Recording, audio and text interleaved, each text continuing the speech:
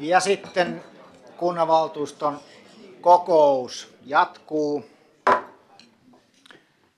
Ja siirrytään ensimmäisen asiakohtaan, kokouksen laillisuus ja päätösvaltaisuus. Eli pyydän varsinaisia valtuutettuja kuittaamaan läsnäolonsa.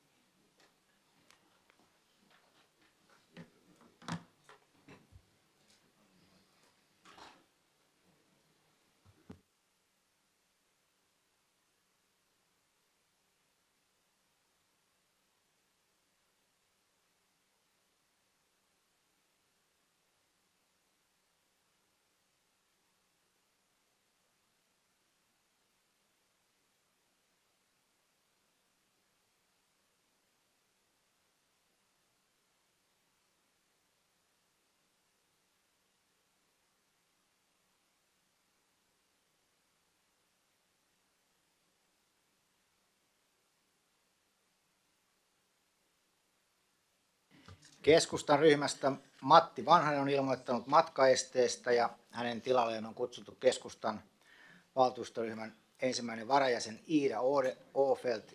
Hänellä on este ja sen jälkeen on kutsuttu toinen varavaltuutettu Kirsti Handoliin.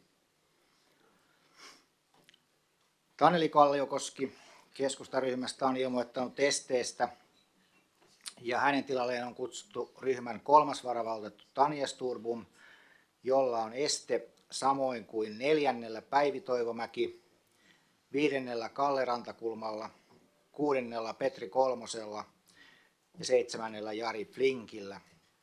Sen jälkeen on kutsuttu kahdeksas varavaltettu Kalvi Lain. Ja edelleen keskustaryhmästä Elli Mantila on ilmoittanut esteestä ja hänen tilalleen on kutsuttu ryhmän yhdeksäs varavaltettu Timo Ojamäki. Sitten perussuomalaisten ryhmästä Henry Salo on ilmoittanut esteestä ja hänen tilalleen on kutsuttu ryhmän ensimmäinen varavaltettu Pinja Alanne.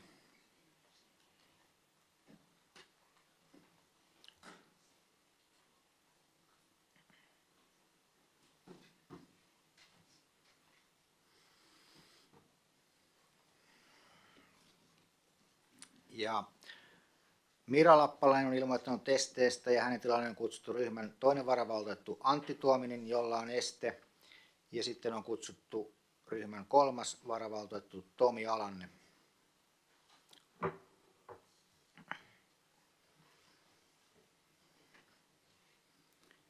Ja Heikki Heinonen on ilmoittanut testeestä ja hänen tilalleen on kutsuttu ryhmän neljäs varavaltuutettu Kisse Saliin.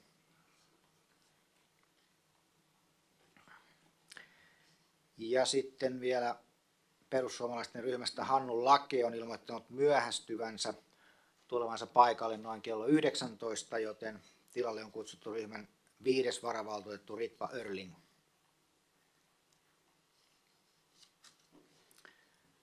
Sitten vihreistä Sami Virtasella on matkaeste ja hänen tilalleen on kutsuttu ryhmän ensimmäinen varavaltuutettu Susanne Heinonen.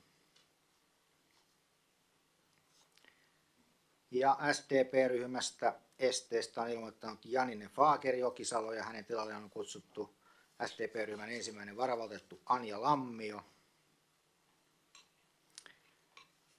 Ja Aulikki Markkanen samoin ilmoittanut esteestä ja hänen tilalleen on kutsuttu ryhmän toinen varavaltettu Eero Santala, jolla on este. Ja sitten on kutsuttu kolmas varavaltettu Kerttu Martinsaari.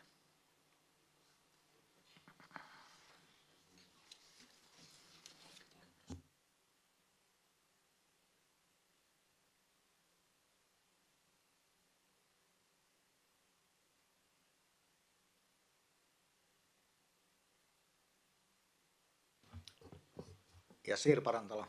Anteeksi keskeytys kokoukselle, mutta nimeni kohdalla on edelleen Matti Vanhanen, että jos sen voi muuttaa, niin kiitos. Nyt siellä on Kirsti Handoliin kahteen kertaan, mutta ehkäpä se siitä korjaantuu.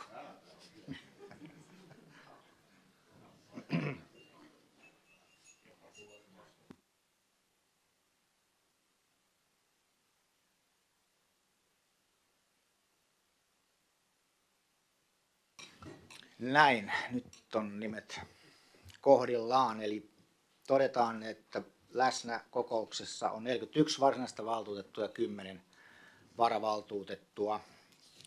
Ja seuraavaksi luen valtuuston kokouskutsun. Nurmeren valtuuston kokous järjestetään kunnanviraston valtuustosalissa keskiviikkona 13. päivä 3.2024 kello 18.00. Kokouksen esityslista on nähtävänä 7.3.24 lähtien kunnan kotisivuilla. Pöytäkirjan jäljennys on nähtävillä kunnan kotisivuilla 23.24 lähtien. Nurmijärvi 6.3.2024, Kalle-Pekka Toivonen, valtuuston puheenjohtaja. Ja tämä kokouskuulutus on julkaistu kunnan ilmoitustaululla 6.3.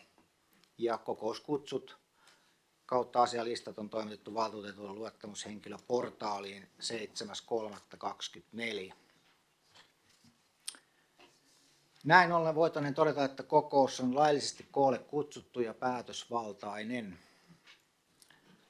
Ja näin todettu.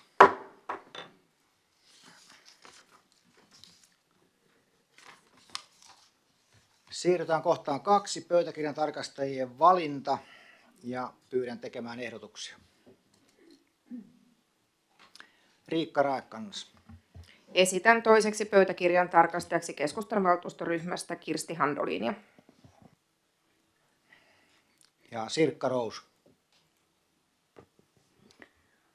Joo, esitän Vasemmistoliiton tuota, toiseksi ottaen pöytäkirjan tarkastajaksi Vasemmistoliiton edustajan nyt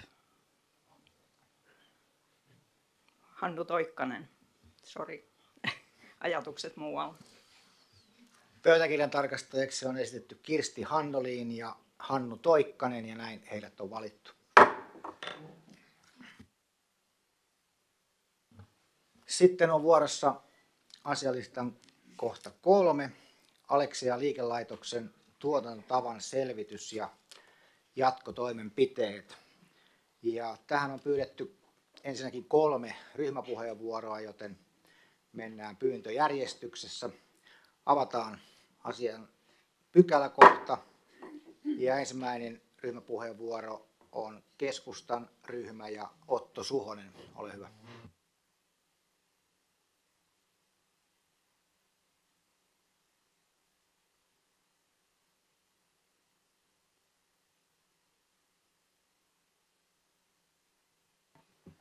Arvoisa puheenjohtaja, hyvät valtuutetut ja muut tätä kokousta seuraavat. Kuntamme ruoka- ja siivouspalveluiden tuotannosta on pitkään vastannut kunnan Aleksia liikelaitos. Osana nuukapäätöksiä viime vuonna sovimme, että Aleksian ulkoistamista selvitetään. Nyt selvitykset on tehty ja on päätösten aika. Myös keskustan valtuustoryhmä on seurannut asiaa tarkasti, sillä kyseessä on todella tärkeät asiat. Aleksia hoitaa kuntamme kannalta erittäin kriittisiä tehtäviä. Se tarjoilee päivän lämpimään aterian suurelle määrälle kuntamme lapsia ja nuoria ja pitää huolta tilojemme siisteydestä. Vaikutus nuorten kuntalaistemme terveyteen, ravinnon sekä puhtaan ja pölyttömän huoneilman kautta on aivan keskeinen. Ruokapalveluiden osalta Aleksia vastaa myös kunnan huoltovarmuuteen liittyvistä velvoitteista. Tiedättekö, millä listalla Nurmijärven uutisoitiin hiljattain olevan kymmenen kärjessä? Viime vuoden kouluterveyskyselyssä kysyttiin yläkouluikäisiltä, syövätkö he koululounaan päivittäin. Nuor- Nurmijärvellä kieltävästi vastasi 53,8 prosenttia 8-9 luokkalaisista. Kieltäviä vastauksia kertyy meillä kuudenneksi eniten Suomen kunnista. Nurmijärvi ei ole ainoa kunta, joka kamppailee kouluruokaan liittyvien kysymysten kanssa. Kouluruoan syömättömyys tuntuu olevan tietyllä tapaa laajempikin trendi nuorten keskuudessa. Tänä aikana laadukas kouluruoka ja hyvä ruokakasvatus on nostettava entistä tärkeämpään rooliin. No mitä vaikutuksia tällä ulkoistuksella sitten voisi olla? Asian selvittämistä perusteltiin jo Nuuka-ohjelmassa taloudellisella syillä. Yksityinen tuottaja voisi pystyä tuottamaan palvelut halvemmalla, ajateltiin. Mutta olisiko kyseessä se sama palvelu? Aleksian henkilöstö tekee sivistystoimen yksiköissä sujuvaa ja ainakin oman kuulemani mukaan erittäin hyvää yhteistyötä sivistystoimen henkilöstön kanssa. Ja auttaa paikoin arjessa jopa enemmän kuin palvelusopimuksessa edellytetään. Tavoite on yhteinen hyvä palvelu. Saako markkinoilta samanlaista yhteistyötä? Pystyykö tällaista yhteistyön henkeä kirjaamaan sitovasti ja tarpeeksi selvästi sopimusehtoihin? Entä talous? Alexia on viime vuosina siirtynyt hankintaan suuriin yhteiskilpailutuksiin ja toimiikin nyt kohtuullisen kustannustehokkaasti myös markkinatoimijoihin nähden. Sekä sivistyslautakunta että nuorisovaltuusto ovat lausunnoissaan edellyttäneet, että ruoka- ja siivouspalveluiden laadun on pysyttävä jatkossakin vähintään nykyisellä tasolla. Kysymys kuuluukin, voisiko yksityinen toimija saada aikaan samaan aikaan säästöjä laadusta tinkimättä? Meillä ei ole tästä varmuutta. Yksityinen kun edellyttää toiminnalta kaiken lisäksi myös tietyn voittoprosentin. Muissa kunnissa toteutetuissa kilpailutuksissa on huomattu, ettei ruoan laatu ole aivan yksinkertainen asia näissä, kun näitä tehdään. Kun palveluntuottaja vaihtuu, on riskinä laadun lasku. Mediassa on kiertänyt kuvia esimerkiksi Janakkalan makaronilaatikosta, jota voisi kuvata kuvien perusteella enemmän makaronin lihavelliksi. Mutta miten se ruoan laatu lopulta edes voidaan kirjata sopimukseen? Riittävän laadukasta makaronilaatikkoa, kun ei voi määritellä numeroarvoin. Tässä tilanteessa meillä ei ole varaa ottaa sitä riskiä, että tarjoamamme ruoan taso laskisi. Hyvä periaate on mu- se, että jos kone ei ole rikki, sitä ei kannata vaihtaa toiseen. Aleksia liikelaitoksella on viime vuoden talousarviossa asetettu kahdeksan tavoitetta liittyen talouteen, henkilöstö- ja asiakastyytyväisyyteen sekä hävikin vähentämiseen. Aleksia saavutti nämä kaikki. Hyvä koneenkäyttäjä tietää myös, että jos koneen toimintaa halutaan muuttaa, olisi hyvä ensin säätää sen, tehdä säätöjä sen mukaisesti ennen kuin lähtee konemessuille uutta metsästämään. Jos haluamme muutoksia ruoka- ja siivouspalveluiden tuotantoon, on ensisijainen tapa tietysti siihen Aleksian tavoitteiden muuttaminen sen mukaisesti ja omistajaohjaus. Ei, ei ulkoistaminen. Yhteiskunnalle kriittiset palvelut on hyvä pitää julkisessa omistuksessa myös huoltovarmuussyistä. Keskustan valtuustoryhmä ei kannata Aleksian ulkoistamisprosessin jatkamista. Meillä valtuutetulle onkin nyt tärkeä kysymys se, mihin suuntaan me halua, halutaan kehittää ruoka- ja siivouspalveluita jatkossa. Nuukaohjelman tavoite oli säästöjen hakeminen. Aleksian nykyisenkin kustannustehokkuuden huomioiden valtavasti säästökohteita ei Aleksiassa enää ole, jos laatu halutaan pitää nykyisellä. Nuukakäsittelyssä valtuusto päätti, että siivoustasosta ei säästöjen vuoksi tingitä. Ruoan laadusta tinkiminen ei ollut edes mahdollisten säästötoimien listalla, tuskin sekään olisi meiltä tukea saanut. Joitain tehostamisenkin kohteita kuitenkin on. Ruokahävikki on tärkeä kysymys myös taloudellisesti, ja Aleksiassa on tehty hyvää työtä sen vähentämiseksi. Paljon tehtävää on myös sivistystoimessa. Toivottavasti tiedonkulku saadaan pian sellaiseen, sellaiseksi, että ruokapalveluissa aidosti tiedetään ruokailevien henkilöiden määrä päivittäin. Hävikin myötä menetämme nimittäin huomattavia summia yhteisiä verorahojamme päivittäin suoraan biojätteeseen. Keskustan valtuustoryhmä näkee, ettei ruoan tai siivouksen laadusta voida tinkiä. Omistajaohjauksella täytyy ohjata Aleksia vähentämään ruokahävikkiä jatkossakin ja pitää ruoan kotimaisuusaste kor- korkealla tasolla. Lisäksi tavoitteeksi tulisi asettaa entistä vahvemmin se, että mahdollisimman moni lapsi ja nuori söisi sen koululounaan. Seuraavan vuoden 2025 kouluterveyskysely toimisi hyvin tämän tavoitteen tarkastelupisteen. Aleksia pitää myös kannustaa toiminnan kehittämiseen. Esimerkiksi siivouksen osittainen automatisointi saattaa olla tulevaisuudessa ilmiö, jolla saataisiin aikaan säästöjä palvelulaatua vaarantamatta. Kiitoksia. Sitten on vihreiden ryhmäpuheenvuoro ja Ville Virolainen.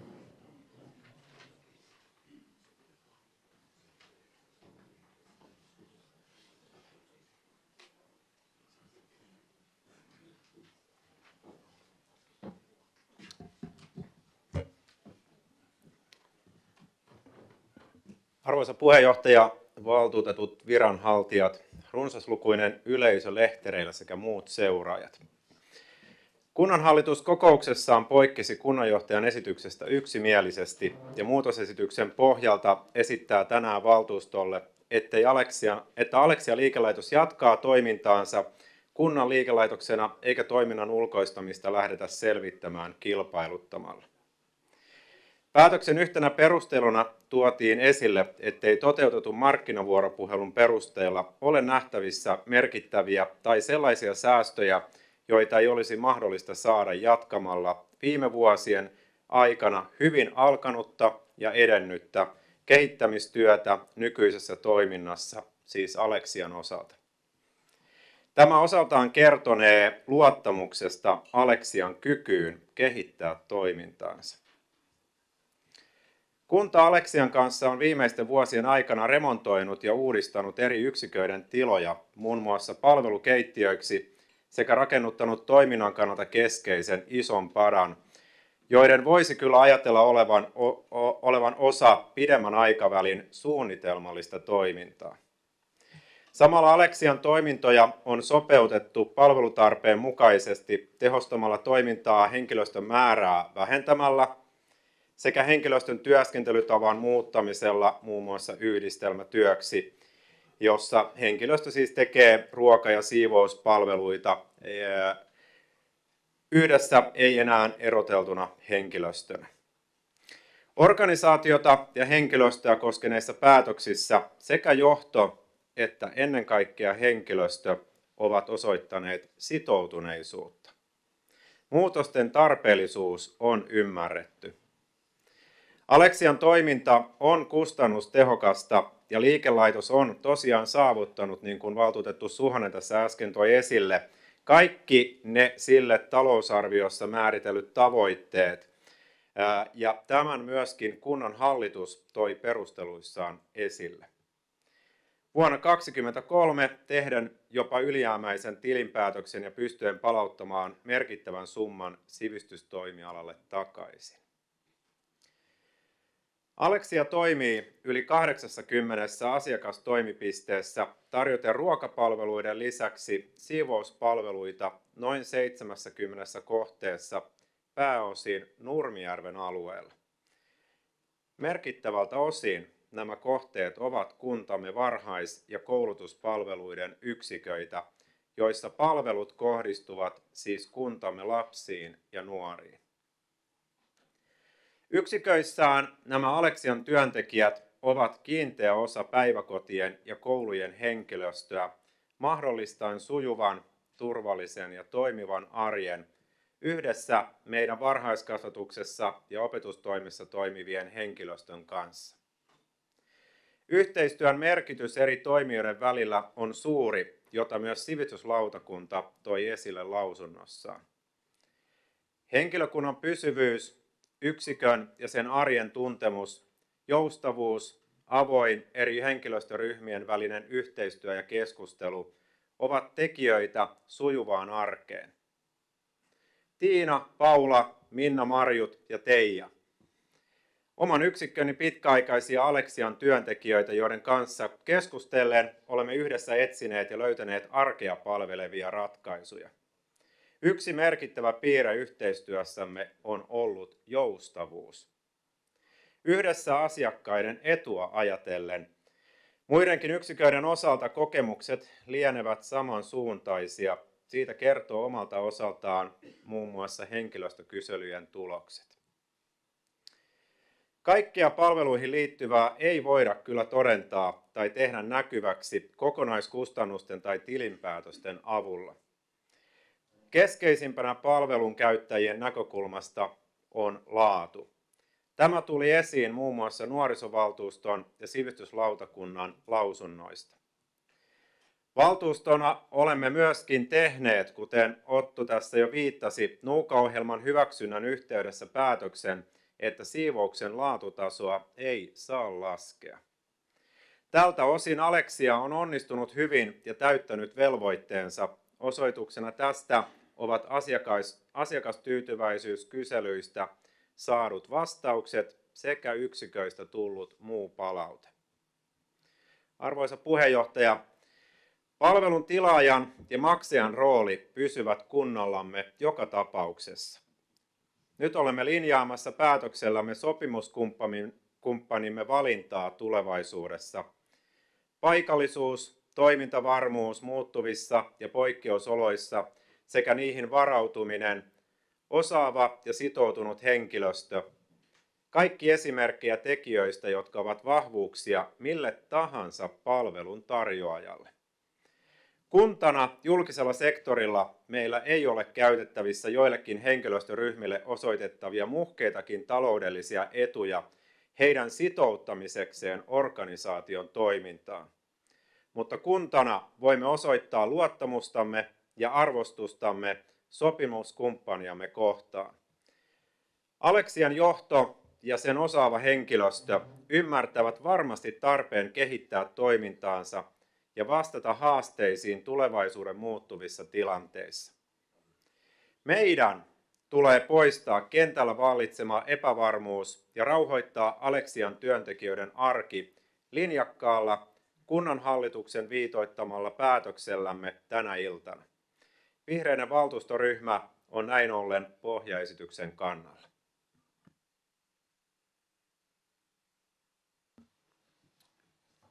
Ja kolmas ryhmäpuheenvuoro STP ja Jenni Sandberg.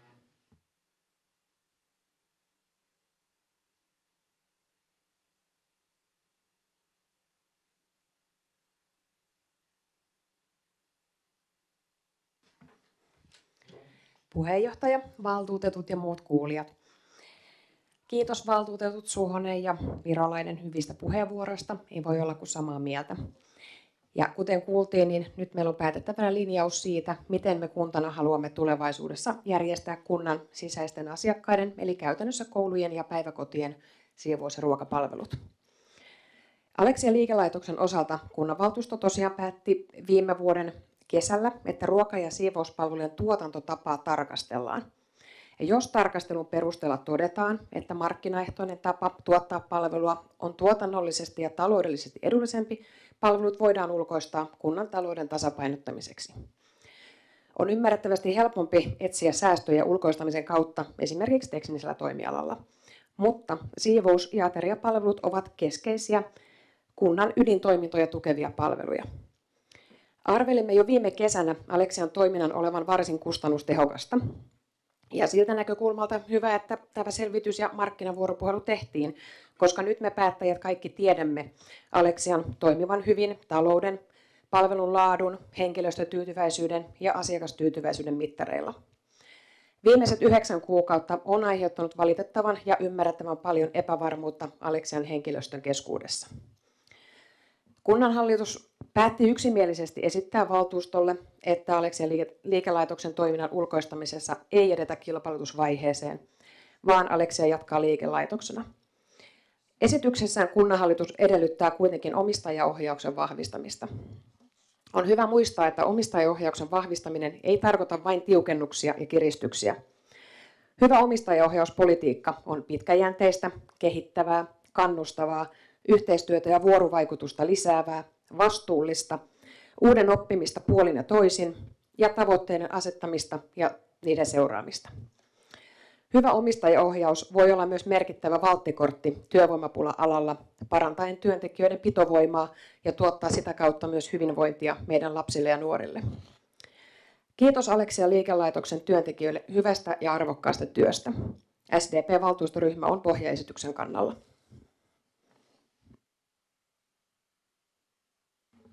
Matti Putkonen.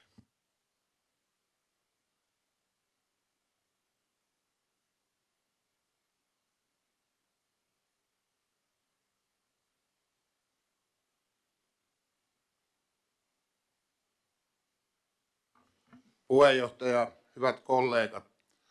On totta, että Nuuka-ohjelmassa lähdettiin siitä, että kaikki kivet ja kannot käännetään ja katsotaan. Aleksian kohdalla myös todettiin, että olisi syytä hakea säästöjä. Mutta se ei automaattisesti voi merkitä eikä saa merkitä sitä, että sitä lähettäisiin yksityistämään. Koska välttämättä sitä kautta ei edes tulisi säästöjä, saati sitten laatu ynnä muut palvelut kärsisivät. Tältä osin on, on nyt kuultu kyselytunnilla ja vähän muuallakin sitä, että Aleksian henkilökunta yhdessä johdon kanssa ovat voineet jo hakea erilaisia säästöjä ja pyrkivät koko ajan tehostamiseen. Laatua heikentämättä. Ja minun mielestä meillä ohja- omistajaohjauksena pitää olla selkeästi myös määräys antaa kouluille ja tarhoille, että he ilmoittavat myös etukäteen hyvissä ajoin, ennen kuin ruokaa ruvetaan valmistamaan, paljonkin, paljon milläkin päivällä on syöjiä. Tämä on ollut, kun on keskustellut Aleksian porukoiden kanssa, yksi iso puute. Ja nyt siinä voisi vaikka sitten miettiä näille tarhoille ja muille, jos ei se muuten lähde toteutumaan, että sanktio sitten päälle, jos ei se tule. Koska sitä kautta saadaan lisää erittäin paljon säästöjä. Perussuomalaisten ryhmää ennen kaikkea huolestutti tilanne siitä, että jos tämä yksityistäminen homma olisi lähtenyt, niin mistä se mahdollinen tuottaja tai yritys tai firma olisi sitten hakenut sitä tehokkuutta tai itselleen tulevaa voittoa tuottoa. Se on selvä, mitä näissä asioissa on tapahtunut. Silloin on yleensä lähdetty hakemaan sitä työntekijöiden selkänahasta. Eli olisi lähdetty hakemaan edullisempaa työehtosopimusta kaikkine määräyksineen, kun tämä nykyinen työehtosopimuskausi olisi päättynyt. Ja ei täm, tätä voi sallia millään tavalla, ainakaan perussuomalaiset. Siksi me kannatamme päätös- tai pohjaesitystä ja toteamme, että on hyvä nyt vihdoin ja viimein pistää, viheltää tämä homma poikki. Kiitos. Ja repliikkipuheenvuoro Janne Taipale. Kiitos arvoisa puheenjohtaja. Ihan tähän Matille vaan otetaan esimerkiksi 600 oppilaan koulu, jos 10 prosenttia ilmoittaa kello kahdeksan tai kello yhdeksän, että sieltä on vahvuudesta 60 pois, niin jos vaan löytyy semmoinen kanava ja keino, millä koulut pystyisivät tämän niin kuin järkevästi ilmoittamaan ja niin, että se vaikuttaisi oikeasti siihen annosmäärään, mitä keittiö valmistaa, niin varmasti koulut ottavat sen mielellään käyttöön. Sellaista ei nyt tällä hetkellä juuri ole. Ja, ja se, että isopata valmistaa ja koulut pääsääntöisesti lämmittää, niin miten me saadaan semmoinen toimiva järjestelmä, että tämä oikeasti hyödyttäisi. Tämä varmaan jatkotutkintaa. Kiitos. Repliikin. Kommentti Putkonen. Mutta kyllä siellä on tilanteita oikeasti, en mä tarkoita tämmöistä, mutta siellä on oikeasti esimerkiksi suunniteltu retkiä, poissaoloa ja muuta vastaavaa, jossa viedään koko koulu tai tarha johonkin. Niin niitä tiedetään jo etukäteen. Ne ei ole niin kuin edellisenä päivänä, vaan ne on siinä vuosikellossa mukana. Ja sen takia tämä vuosikellon kanssa yhdessä toimiminen Aleksian kanssa olisi varmasti tärkeää. Nämä on erikseen tämmöiset äkkisairastumiset ja muut. Joona Suomi. Kiitos puheenjohtaja. Niin nuukapäätöksissä oli 650 000 euro säästötavoitteet tästä toimenpiteestä, että ne nyt jää saavuttamatta. Että toivottavasti sitten toiminnan tehostamisella saadaan, saadaan samanlaiset säästötavoitteet aikaiseksi, niin tähän ei tarvitse palata sitten myöhemmin uudestaan. Kalle Mustonen. Kiitos puheenjohtaja. Ensinnäkin olen erittäin tyytyväinen tähän kunnanhallituksen yksimieliseen päätökseen ja on erittäin paljon samaa mieltä, mutta yksi mikä siitä unohtuu, mitä minäkin olen täällä joskus kyselytunneilla ja muissa tilaisuuksissa sanonut, niin Ukrainan sodan alettua suojelupoliisi suositteli, että näitä kriittiset, kuten ruokahuolto ja vesi, pysyisi kunnan ja valtion omistuksessa, tässä tapauksessa tietysti kunnan, niin se jäi tuosta päätöslauseelta pois, mutta se on mun mielestä hyvä huomioida, että tämä on oikeasti tärkeä asia. Kiitos.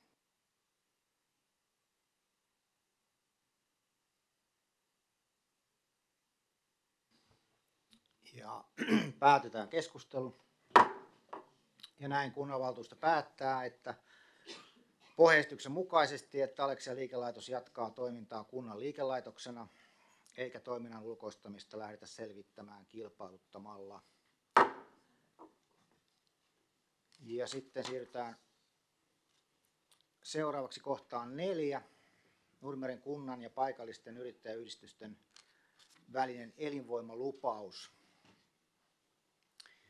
Ja tässä lupauksessa kummatkin osapuolet sitoutuvat viiteen painopistealueeseen tai niiden edistämiseen. Ne ovat yksi toimiva vuoropuhelu, kaksi sujuvat kaavoitus- ja lupaprosessit, kolme yrittäjämyönteiset hankinnat, neljä yritysvaikutusten arviointi ja viisi yrittäjyyteen kannustaminen ja yritystoiminnan edellytykset.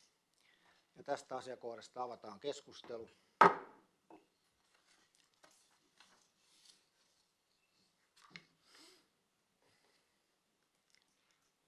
Ja päätetään keskustelu. Ja näin kunnanvaltuusto päättää, että Nurmijärven kunta sitoutuu omalta osaltaan yrittäjäyhdistysten kanssa tehtävään elinvoimalupaukseen. Sitten mennään kohtaan viisi, tilintarkastuspalvelujen hankinta tarkastuskaudelle 2024-2027. Ja tästä asiakohdasta avataan keskustelu. Ja Hannu Toikkanen.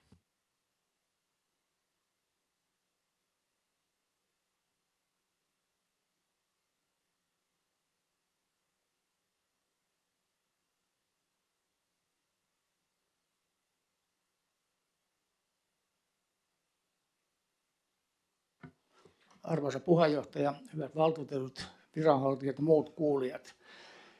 Tässä tarkastuslautakunnan puheenjohtajana täytyy muutama sana sanoa tästä, tästä kilpailusta, koska tämä kilpailutustoiminta on Nurmijärvellä ollut, ollut tota hyvin pitkä ja laajakantoista tässä vuosien saatossa. Eli, eli tätä, tämä toimintahan on ollut tällä hetkellä sillä tavalla, että nykymuodossaan niin tämä on 28. vuosi, kun kun tota, tämä on ollut, ollut suurin piirtein nykymuodossa pieniä detaljimuutoksia lukuun ottamatta. Mutta se on lähinnä se on niin lainsäädäntöön liittyvänä. Eli valtuus on päätettäväksi tilintarkastuspalvelujen hankintavuosille 2024-2027. Nykyisen sopimuksen määräaika on kulunut umpeen vuoden vaihteessa 2023. Sopimus oli ajallisesti muodoltaan kolme varsinaista vuotta ja kaksi optiovuotta. Tähän liittyen KPM Kuntapalvelut Oy suorittaa tilintarkastuksen esityksen tilinpäätöksestä ja arviointikertomuksen laadinnan yhteistyössä tarkastuslautakunnan kanssa vuodelta 2023. Nämähän on sellaisia, nämä sopimukset, nämä menee aina noin viisi kuukautta yli sen, sen tota, varsinaisen toimikauden. Vaikka nyt uuden toimijan toimikausi alkaa 2024, se alkaa silloin ensimmäinen päivä ensimmäistä, mutta edellisen toimijan toimikausi jatkuu niin pitkälle, kunnes tilinpäätös on tehty edellisestä vuodelta. Ja samaten kuin tarkastuskertomus on laadittu.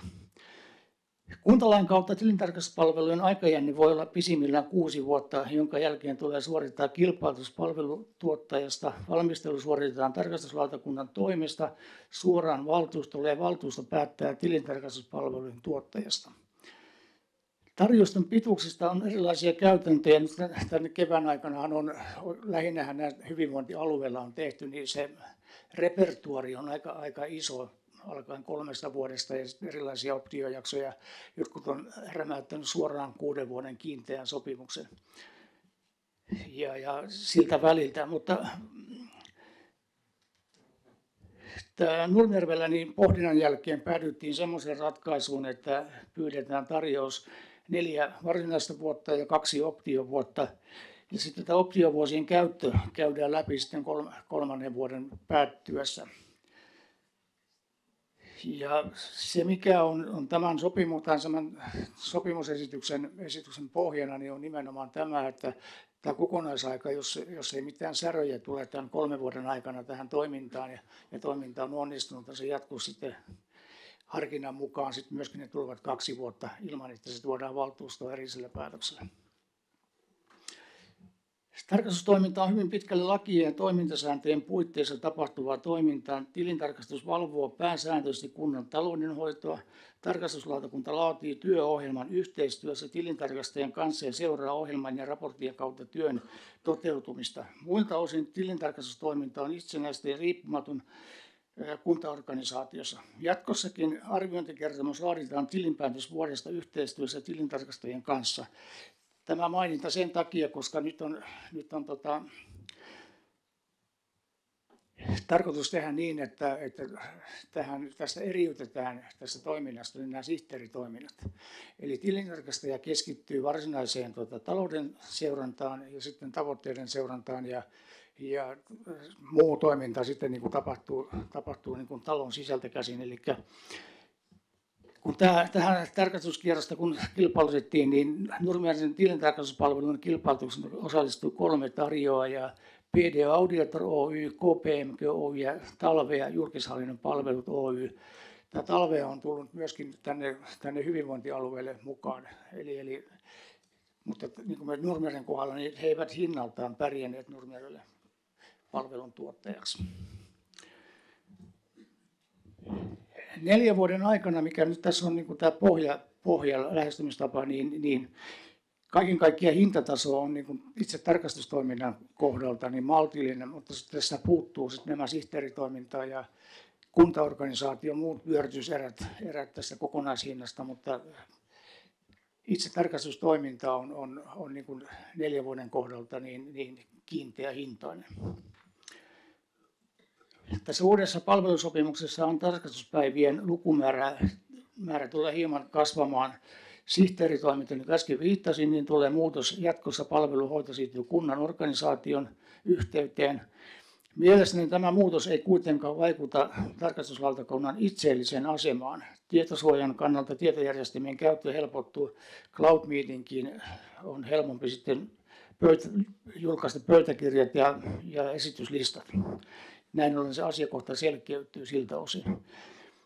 Tarkastuslautakunnan oman työskentelyn muutos vaikuttaa hieman eli, eli meidän sisäiseen toimintaan, koska tilintarkastaja ei ole joka kokouksessa paikan päällä ja vuoden työohjelman sisältöä laadittaessa tilintarkastajan läsnäolo tulee huomioida ja määrittää päivien kohdalta, missä, missä tapauksessa he tulee olemaan sitten niin tarkastuslautakunnan kuultavana. Sitten tähän loppuosaan, niin, niin, niin nykyisen toimijan kanssa tämä yhteistyö on, on pelan, toiminut äärettömän hyvin muistan vaan se viisi vuotta sitten tapahtuneen kilpailutuksen, koska silloin PD Auditor jätti, jätti kokonaan tarjouksen, jät, ei, ei jättänyt tarjousta johtuen näppäilyvirheestä, mutta se on sitten historiassa. Ja nyt, nyt tavallaan niin kuin historia toistaa itseänsä, eli PD Auditor, mikä on ollut vuosikausien Nurmijärven kunnan tilintarkastusyhteisö, niin palaa ruotuun uudelleen.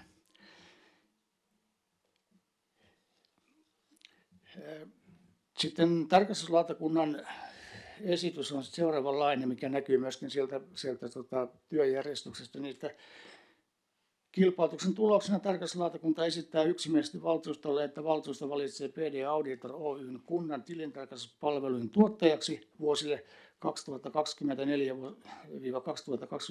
2024-2027 optiovuosien käytöstä vuosille 2028-2029 päätetään erikseen. Kiitoksia.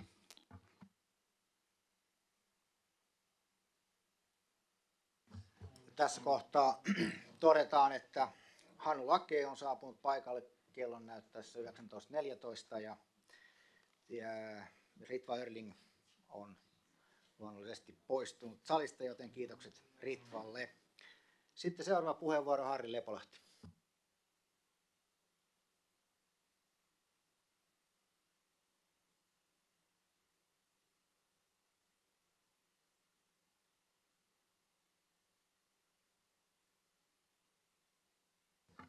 Arvoisa puheenjohtaja, hyvät valtuutetut ja hyvä yleisö. Keskustelimme sosiaalidemokraattisessa ryhmässä tilintarkastuspalvelujen hankinnasta ja tässä muutamia huomioita. Tilintarkastajan valintaan liittyvät säännökset löytyvät kuntalaista, Nuomiaven kunnan hallintosäännöstä ja konserniohjeesta. Kuntalain 121 pykälän mukaan tarkastuslautakunnan tehtävänä on kunnan ja sen tytäryhteisöjen tarkastuksen yhteensovittamisesta huolehtiminen – kuntalain perustelujen mukaan.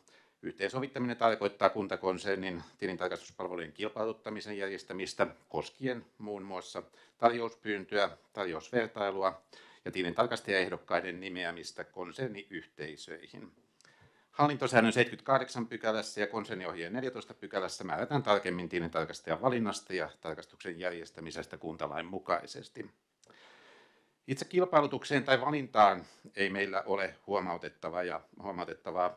Ajatuksia lähinnä heräsi muun muassa vertailuperusteen osalta, joka näyttää esityksen mukaan olleen halvin hinta.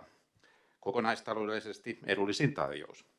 Olisiko kannattanut ottaa myös laatu vertailuperusteeksi? Monissa tilintarkastuspalveluiden kilpailutuksissa perusteena on käytetty esimerkiksi kokonaishintaa sopimuskaudelle 50 prosenttia ja laatu, joka sisältää kokemuksen ja koulutuksen 50 prosenttia. On käytetty myös auktorisoidun JHTT-tilintarkastajan työn osuutta vertailuperusteena. Lisäksi mietitytti koko sopimuskauden kiinteä hinta. Sillä on tietysti puolensa ja puolensa. Voi olla kustannusta nostava vaatimus, mutta on kuitenkin ennustettava ja hinto tiedossa koko sopimuskauden ajan. Helpommalla tilaaja tietysti pääsee, kun on vähän vertailukriteerejä ja tiukat vaatimukset. Jos olisi lavea kriteeristö ja laaja liikkumavara, se teettäisi vertailtavuuden kannalta lisätöitä ja heikentäisi perusteltavuutta tarjoajien valinnassa. Tällöin myös riski valinnan riitauttamiseen saattaisi kasvaa. Siitä ei voida kuitenkaan olla varma, kannattaisiko se riski tarjoajan määrän kasvattamiseksi ja halvemman hinnan saamiseksi. Monesti näihin palvelujen hankintoihin tilintarkastusyhteisöltä sisältyy myös tarkastuslautakunnalle hankittavia palveluja, ja se lähinnä kiinnosti tässä asiassa. Tarjouspyynnön mukaan tarkastuslautakunnalle on tarkoitus hankkia tilintarkastusyhteisöltä palvelua arviointikertomuksen valmisteluun liittyen, ja lautakunnan tarvitsemat muut avustavat palvelut, kuten sihteerin palvelun, on ymmärtääkseni tarkoitus jatkossa saada kunnalta. Tarkastuslautakunnan tehtävät ovat valtuuston kannalta ensiarvoisen tärkeät. Sen takia kannamme huolta ja olisi tärkeää, että lautakunnalla on käytössä riittävästi tilintarkastajatason asiantuntemusta ja osaamista arviointityössään. Kunnalta hankittavien palvelujen osalta on hyvä muistaa riippumattomuus ja objektiivisuus. Tämä liittyy erityisesti siihen kunnan viranhaltijaan, joka avustaa tarkastuslautakuntaa.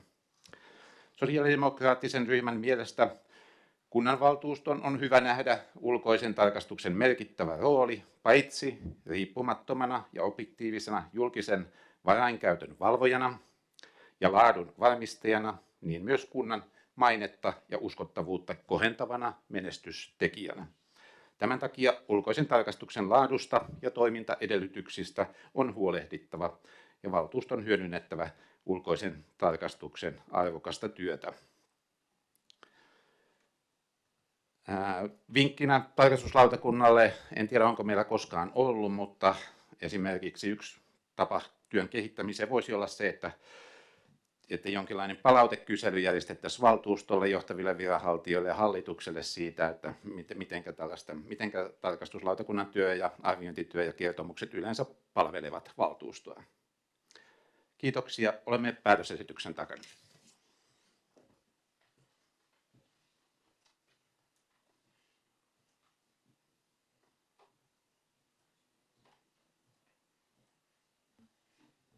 Päätetään keskustelu. Näin kunnanvaltuusto päättää, että Nurmeren kunnan tilintarkastuspalveluiden palvelujen tuottajaksi valitaan tarkastuskausille 24-27 PDO Audiator Oy yllä mainituin perusteluin.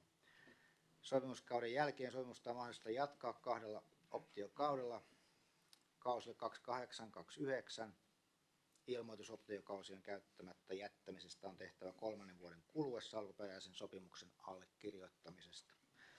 Hankinta sopimusosapuolten välillä syntyy vasta myöhemmin kirjallisen sopimuksen allekirjoittamisella.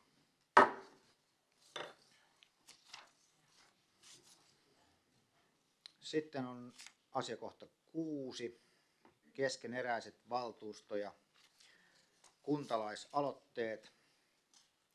Ja tästä avataan keskustelu. Jukka Anttila. Joo, herra, herra puheenjohtaja, muutama sana näistä kuntalaisaloitteista. Se on tuota, hyvä nähdä tuosta liitekoosteista, mikä on tehty myöskin, että niitä on, mistä asioista niitä on tehty ja kuinka paljon.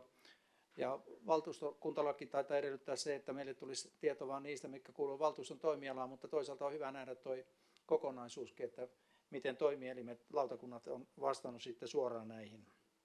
Ja toisaalta valtuusto näkee vähän tätä vastausaikaa, että ymmärrän kyllä, että kuntalaisaloittekin on monenlaisia, että osa kestää kolme vuotta valmistelua ja osa tulee muutamassa kuukaudessa, että ne on varmaan eri luonteisia, mutta ehkä tietty kohtuullinen aika siinä pitäisi olla. Ja vaikka ehkä tätä kuntalaisaloitekanavaa kannattaa kunnan markkinoinnissa tai viestinnässä jonkun verran tuoda julki, että semmoinenkin mahdollisuus on olemassa. Kuntalaiset saa purkaa höyryjänsä siinä aloitteessa. Kiitos. Isa Tarikka.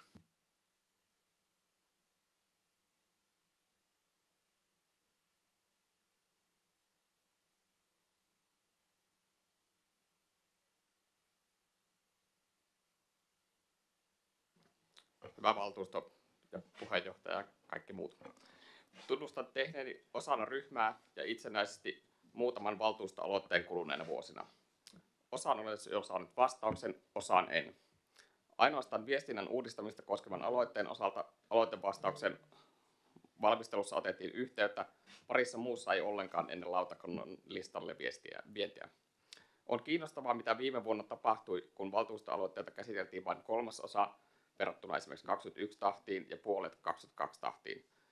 Vuonna 2023 kuntalaisaloitteita käsiteltiin vain neljäsosa vuoteen 2021 verrattuna ja kolmasosa 22 verrattuna. Voidaanko väittää, että valtuustoaloitteet ja kuntalaisaloitteet ovat pakkopullaa ja jäävät niin sanotun oikean työn jalkoihin arjessa?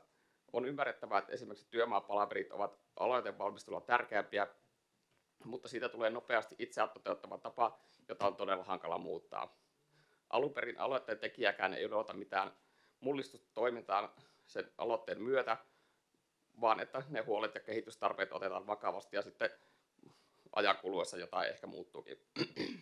Listolla roikkuu myös todella iso määrä kuntalaisaloitteita. Harri saattaa seuraavassa puheessaan viitata siihen, että tämä ei ole sitä, mitä kuntalainen voi kohtuudella odottaa julkisen toimijan käsittelyajaksi. On hämmentävää, että jo vuonna 2019 ja 2018 ja sitä myöhemminkin on ohjattu ja palautettu valmisteluun monta aloitetta viitaten puistoselvitykseen. Mikä lienee tuon selvityksen tilanne, eikö näitä aloitteita voisi käsitellä lyhyemminkin valmiiksi ja laittaa vauhtia itse selvityksen tekoon, joka vaatii ilmeisesti muutaman valtuustokauden. Näkisin samoin, että esimerkiksi hallintosäännön muutokset ovat vastanneet kokoomuksen 27.3.2019 aloitteeseen, eikä kaavoituksen nopeuttamisen aloitetta ole enää tarpeen roikottaa. Samoin jo tehty kirkkokylällä keskusta kehittämistyö vastanneen Mira Lappalaisen tekemään aloitteeseen vuodelta 2021. Tulee väistämättä mieleen, että aloitteen eteneminen on hyvin sattumanvaraista, eikä välillä edes kaksi valtuustokautta riitä saamaan aikaan selkeitä vastauksia. Koen samoin, että näillä listoilla on melko turha roikottaa enää valmiita asioita. Mitä vähemmän dataa on luettavaksi, sitä paremmin me kaikki asiaan perehdymme ja tulee parempi kokonaiskuva, miten paljon näitä on vielä vaiheessa. Hallintosäännön muutokset ehkä laskevat hieman tulevan vaalivuoden aloitteiden määrää, mutta noita aloitteita on aikamoinen määrä siirtymässä ensivaltuustolle. Näistä valtuustoaloitteista on myös helppo huomata, että suurin osa aloitteista tulee ympäristötoimialan asioista. Se ei tarkoita sitä, että asiat tehtäisiin huonosti, vaan sitä, että niillä toiminnoilla on meille luottamushenkilöille ja kuntalaisille merkitystä, niin, niin puistojen, maankäytön kuin lumien kasaamisen kannalta. Siksi voi välillä pohtia, onko ympäristötoimialalla kroonisesti liikaa tekemistä. Kaikki on tavallaan kesken, eikä valmiin näköistä tule. Itse en usko, että yksikään kuntalais- ja valtuustoaloite on turha. Niiden määrä ei myöskään pienene, jos vuori kasvaa koko ajan isommaksi. Ehdotan siis, että virkamiehet ottaisivat valtuustokauden loppua kohden hieman kirja näiden aloitteiden käsittelyssä. Jos asiat ovat selkeitä vastata, kuten viittasin siihen puustoselvitykseen, ei niiden käsittely pitäisi olla kohtuuton taakka. Kunta on tehnyt hyvää työtä esimerkiksi solmun ja muun viestinnän kehittämisen kanssa. Haluammeko antaa sitä viestiä, että aloitteet on pakkopullaa virkamiesvalmistelussa vai tärkeitä palasia osana kunnan kehittämistä? En lupaa, etteikö tee tässä loppukaudesta vielä itse tai jonkun puolueen kautta aloitteita, mutta lupaan, että palaan tähän asiaan, jos muutosta ei tule. Kiitos. Harri Lepolahti.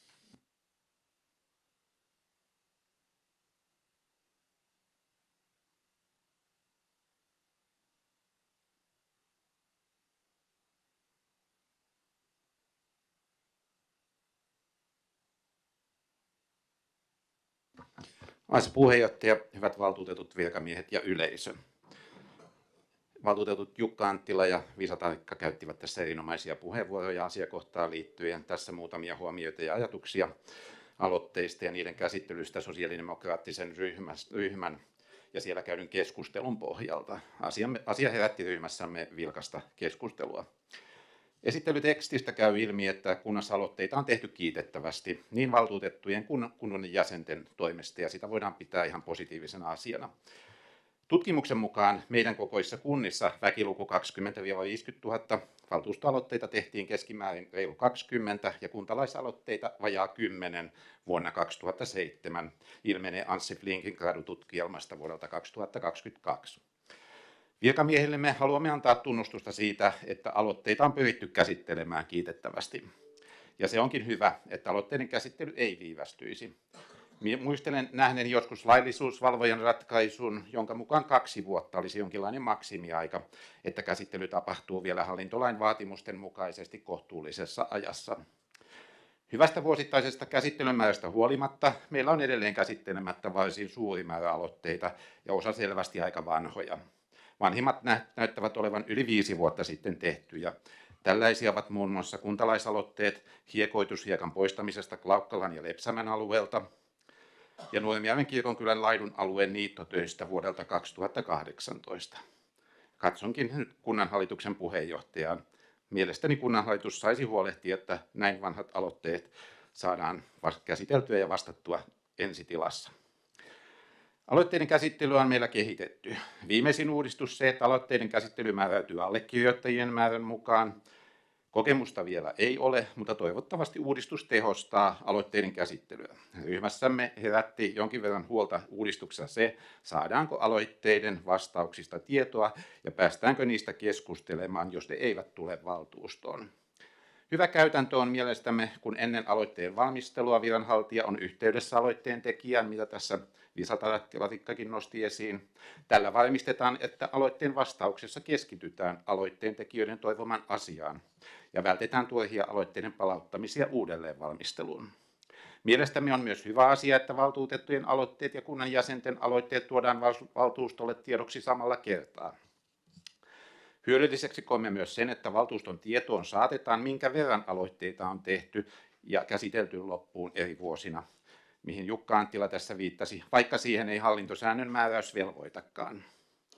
Avoimuuden kannalta on positiivinen asia meillä, että aloitteet ja vastaukset on kootusti esillä kotisivuilla. Näin näyttää olevan kuntalaisaloitteiden osalta, ainakin ne, mitkä on tehty kuntalaisaloitepalvelun kautta, vielä jos saamme valtuustoaloitteet vastauksineen samalla tavalla esille, niin aina parempi. Joitakin kehittämisajatuksia on meillä nousi esille, kun on verrattu käytäntöjä eri kunnissa. Esimerkiksi voisiko meillä antaa aloiteoikeuden valtuuston kokouksessa myös nuorisovaltuustolle tai nuorisovaltuuston edustajalle. Näin on tehty muun muassa Tampereella. Toinen kehittämisajatus liittyy talousarviomäärärahoja edellyttävien kuntalaisaloitteiden käsittelyyn. Voisiko harkita, että ne käsitellään lautakunnissa vuotuisen talousarviokäsittelyn yhteydessä omana pykälänään. Ja yhdistelmä lautakuntakäsittelyistä tuodaan edelleen kunnanhallitukseen ja valtuustoon hyväksyttäväksi. Yksi asia, mikä meillä herätti keskustelua, on kysymys valtuustoaloitteiden ja kuntalaisaloitteiden vaikuttavuudesta. Sitä onkin varmasti aika haastavaa arvioida. Mielestämme siitä olisi kuitenkin hyvä käydä keskustelua, koska kyse on niin keskeisestä järjestelmästä. Toki viime vuosina on, ollut, on tullut paljon muitakin osallistamis- ja palautekanavia, niin kuin tässä edeltävissä puheenvuoroissa tuli ilmi kuntalaisille, ja se on ihan hyvää kehitystä. Ryhmämme ajattelee, että meidän kannattaa kuitenkin edelleen kehittää aloitejärjestelmää niin, että kunnan jäsenten ja luottamushenkilöiden mielenkiintoa kunnan hallintoon ja talouteen sekä heidän mahdollisuuksiaan vaikuttaa siihen voidaan tämän järjestelmän avulla lisätä. Lopuksi haluan vielä palauttaa mieliin muutoksen, josta mainitsin jo vuosi sitten vastaavassa asiakohdassa. Kuntalain 23 pykälän 2 momentti on kumottu vuonna 2021 muutoksella 419 kautta 21. Kumottu säännös näyttäisi olevan vielä voimassa olevassa hallintosäännössä. Kuntalain 23 pykälän muutos on myös laajentanut aloiteoikeutta kunnassa ja tämän voisi myös huomioida meillä hallintosäännössä. Kiitoksia.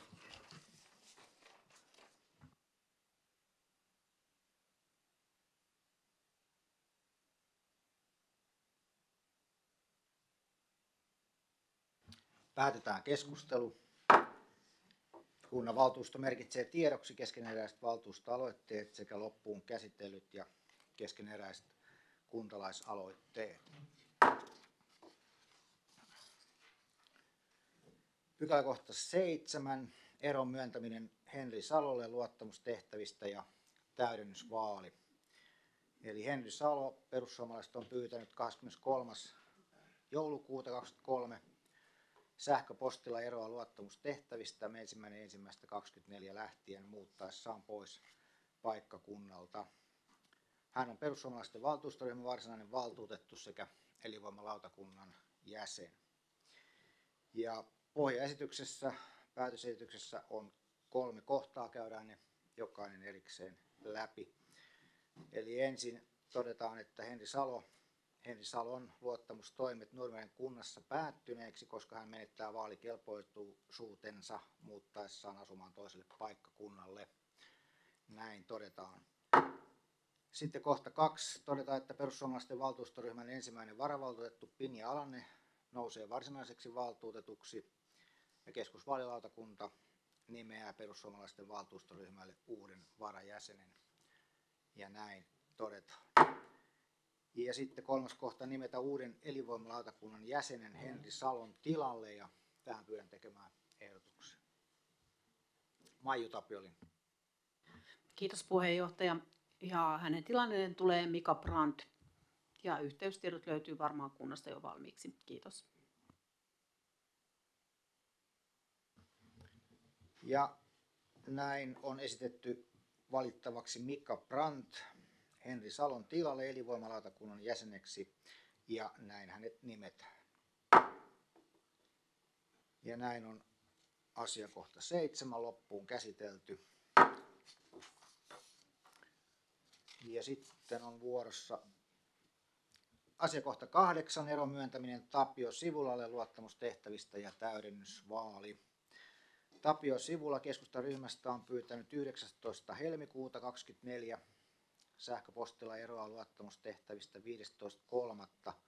lähtien muuttaessaan pois paikkakunnalta. Tapio Sivula on keskustan valtuustoryhmän varsinainen valtuutettu, kunnanhallituksen jäsen sekä Rajamäen yhteiskoulun stipendirahaston hoitokunnan varajäsen. Ja tässä on neljä asiakohtaa päätösesityksessä, joten mennään jälleen ko- kohta kerrallaan. Eli ensimmäinen kohta todetaan Tapio Sivulan luottamustoimet Nurmeren kunnassa päättyneeksi, koska hän menettää vaalikelpoisuutensa muuttaessaan asumaan toiselle paikkakunnalle. Näin todetaan. Kohta kaksi todetaan, että keskustan valtuustoryhmän ensimmäinen varavaltuutettu Iida Ofelt nousee varsinaiseksi valtuutetuksi ja keskusvaalilautakunta nimeää keskustan valtuusto ryhmälle uuden varajäsenen ja näin todetaan. Sitten kohta kolme nimetä uuden kunnanhallituksen jäsenen Tapio Sivulan tilalle ja pyydän tekemään ehdotuksia. Riikka Raikkalas. Esitän Tapio Sivulan tilalle kunnanhallituksen varsinaiseksi jäseneksi Kalle Mustosen ja samalla Mustosen siirtyessä varajäsenestä varsinaiseksi jäseneksi esitetään Otto Suhosen varajäseneksi Matti Vanhasta.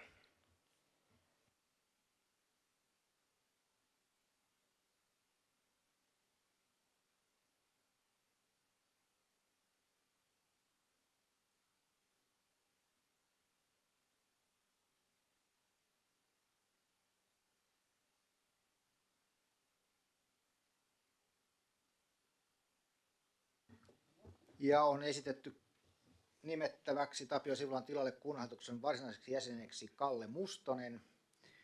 Ja Kallen tilalle sitten Otto Suosen varajäseneksi on esitetty Matti Vanhanen.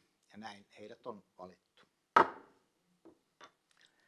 Ja sitten kohta neljään nimetä uuden Rajamäen yhteiskoulun stipendirahaston hoitakunnan varajäsen Tapio Sivulan tilalle. Ja tähän nimeämiseen palataan myöhemmin. Eli.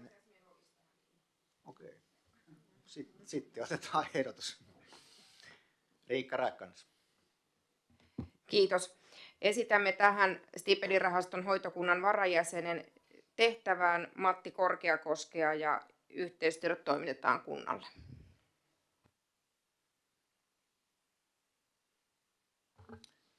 Eli Rajamäen yhteiskoulun stipendirahaston hoitokunnan varajäseneksi on ehdotettu Matti Korkeakoski ja näin hänet on valittu. Ja näin todetaan asiakohta kahdeksan loppuun käsitellyksi.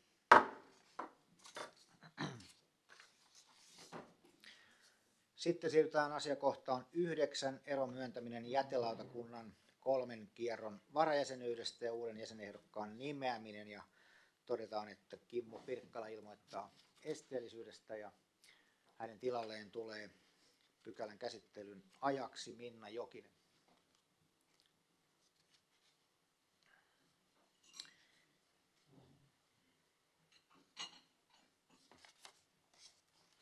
Ja tässä on kyse siitä, että Nuimarin kunnanvaltuusto on nimennyt jätelautakunnan kolmen kiertoon ensimmäinen 8.21-31.5.25 väliselle toimikaudelle varsinaiseksi jäseneksi Maiju Tapiolinnan ja varajäseneksi Kimmo Pirkkalan.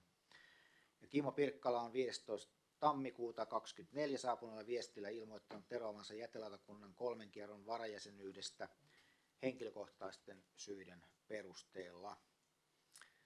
Ja näin pohjaesityksenä on se, että valtuusto esittää edelleen Hämeenlinnan kaupunginvaltuustolle, että valtuusto hyväksyy Kimmo Pirkkalan eron jätelautakunnan kolmen kierron varajäsenyydestä ja nimeää Kisse Salinin jätelautakunnan kolmen kierron varajäseneksi.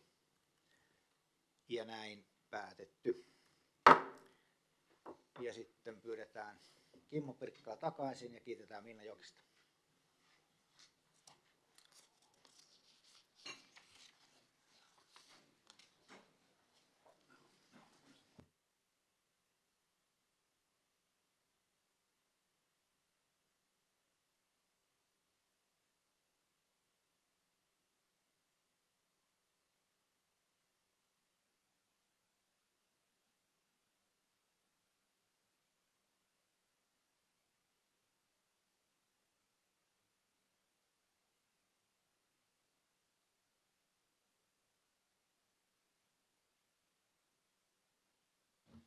Sitten siirrytään kohtaan 10 ilmoitusasiat.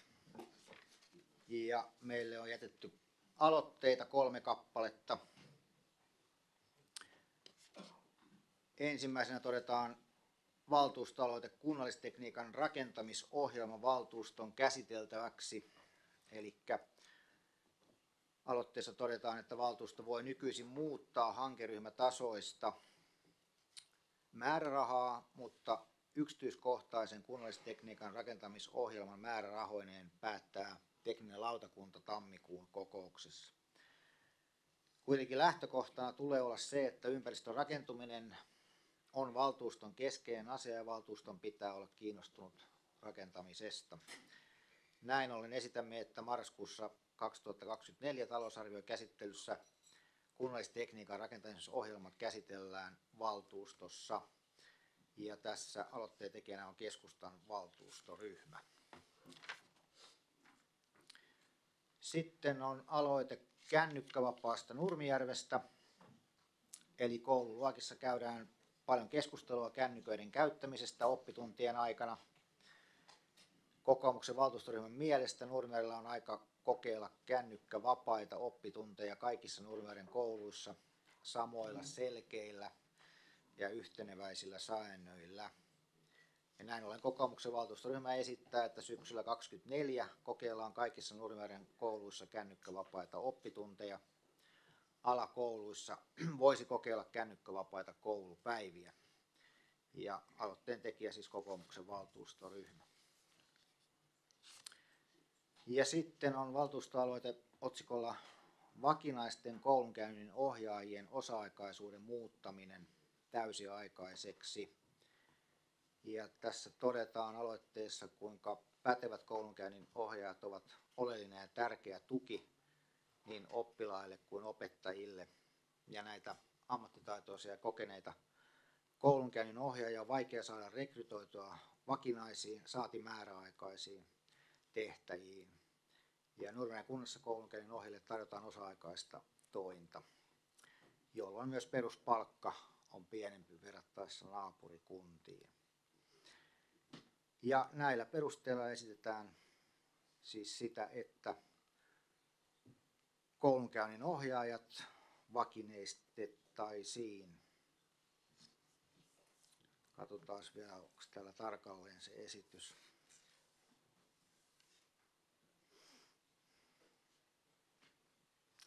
Esitämme, että tuntimäärä ja palkkaus saatetaan kilpailukykyiselle tasolle ja muutetaan toimet joko täysiaikaisiksi tai vähintään 30 tuntisiksi kaikkien vakinaisten koulunkäynnin ohjaajien osalta.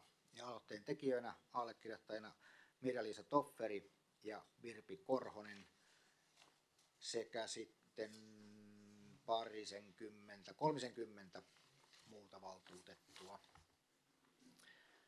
Näin on kuultu ja kerrottu aloitteet ja ne lähtevät eteenpäin valmisteluun ja aikanaan sitten päätöksentekoon. Ja tämä oli tämän vuoden ensimmäisen valtuuston viimeinen asiakohta, joten kiitoksia kaikille.